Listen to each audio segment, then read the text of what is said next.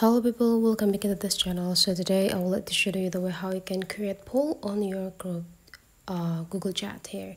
So you can just open your group chat or in the Google Chat we will call it as space. You just need to open it. So the space will be like a room chat that uh, consists more than one persons inside of it, this room chat.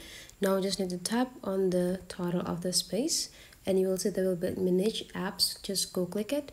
If you want to have poll access go click this add apps and just type poll. And then will like show up there. And then the name is Polly app. So you just need to tap it and go click this checklist button. And now you already have this member. And then um, now you just need to go back.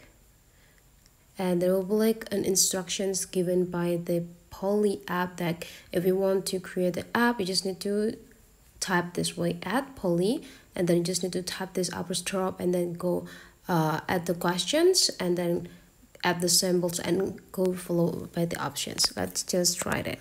First just go type add on it and then just need to mention the uh, application of the poll section and then you just need to type like uh, the symbol and then the question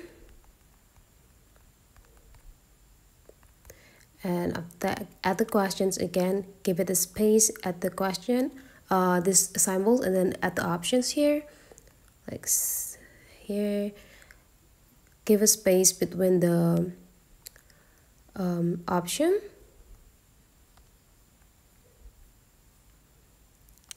And whenever you're done you just need to click this share button.